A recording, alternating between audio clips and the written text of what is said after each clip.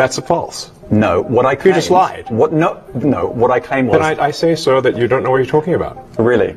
You know, who's to say that something, something is misinformation? Who is the arbiter of that? Is it the BBC?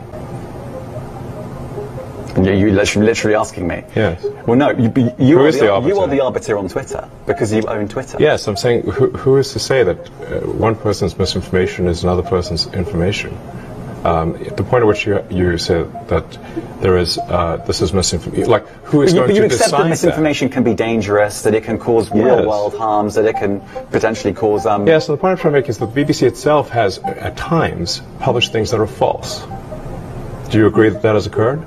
I, I, I, I'm- I'm quite sure the BBC have uh, uh, said things before that turn out to not be true. uh, in, in its whatever it is, hundred year history. I'm quite sure. Yes. Even if you aspire to be accurate, there are times when it will, you, you will not be. We've spoken to people very recently who were involved in moderation, and they just say they just, there's not enough people to police this stuff, particularly around um, particularly around hate speech um, in the company. Do, is that Well, what hate speech are you talking about? I mean, you use Twitter. Right. Do you see a rise in hate speech? I mean, I, I, But just a personal anecdote, like what do you? I don't. P- personally, my uh, for you, I would see I get I get more of that kind of content. Yeah, personally, but I, I'm not going to talk to talk to the rest of for, for the rest of Twitter. You But see more hate speech personally. I would say I would see more hateful content in that in that Content you don't like or or hateful? What do you mean to describe a hateful thing?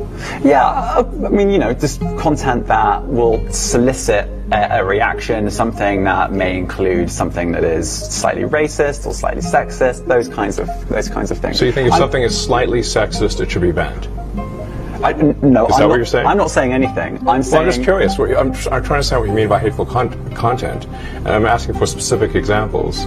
Um, and if, and you just said that if something is slightly sexist, that's hateful content. Does that mean that it should be banned? Well, you've asked me. You've asked me whether my feed, whether it's got less or more. It, I'd say it's got slightly more. That's why I'm asking for examples.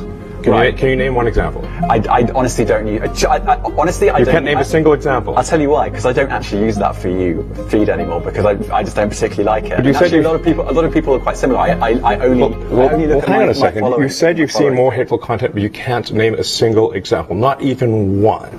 I'm not sure I've used that feed for the last three or four weeks, and I. Well, then how did you see the hateful content? content?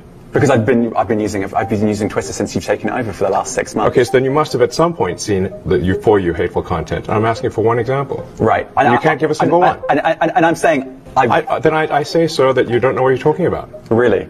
Yes, because you can't give me a single example of hateful con- uh, content, not even one tweet, and yet you claimed that the hateful content was high. Well, That's a false. No, what I claimed, just lied. What no, no. What I claim was uh, there are many uh, organisations that say that that kind of information is on the rise. Now, whether whether it has on my Give me feed one or example. not, I mean, I, right? And Literally you can look at something one. like the, the uh, Strategic Dialogue uh, Institute in the U- in the UK. They will say that. So you, they, Look, people will say all sorts of nonsense. I'm literally asking for a Right. single example, and you can't name one. Right. And as, as I've already said, I don't use that feed. But let's, Well, then how would you know that? I don't think this is getting anywhere. You literally said you experienced more hateful content, and then couldn't name a single example. Right, and as I said, I That's haven't- absurd. I haven't, I haven't actually looked at that feed. Then how would you know this hateful weeks. content? Because I'm saying that's what I saw a few weeks ago. I can't give you an exact example. Let's move on. We have, we only have a certain amount of time. Um, co- COVID misinformation. Change Amazing. You changed the COVID misinformation. Has. BBC changed its COVID misinformation? The BBC does not set the rules on Twitter, so I'm asking you. No, I'm talking about the BBC's misinformation about COVID.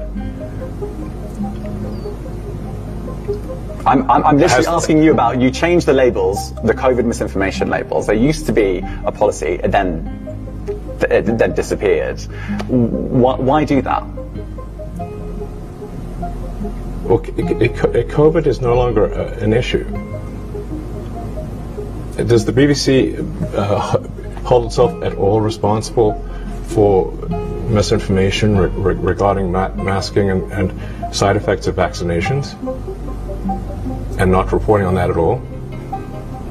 And what about the fact that the BBC was put under pressure by the British government to change its editorial policy? Are you aware of that? This is a, this is not an interview about the BBC. Oh, you thought it wasn't? and this, I see now why you've done Twitter Spaces. I am not a representative of the BBC's editorial policy. I want to make that clear.